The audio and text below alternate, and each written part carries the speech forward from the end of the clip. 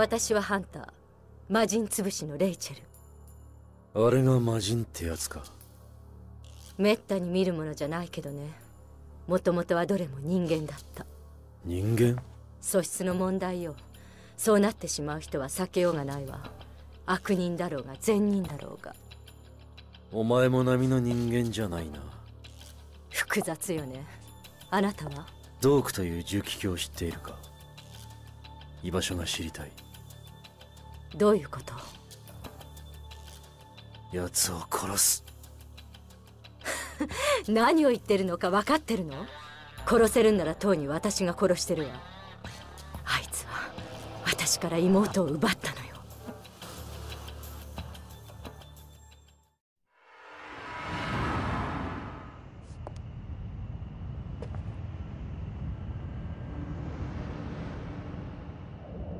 魔人の騒ぐ夜ね。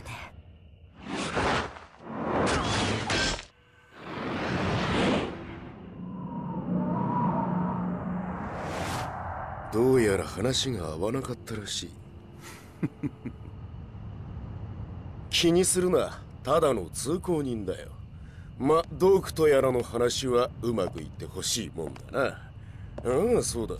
レイチェルのことはよく知ってるがねいい子だよ「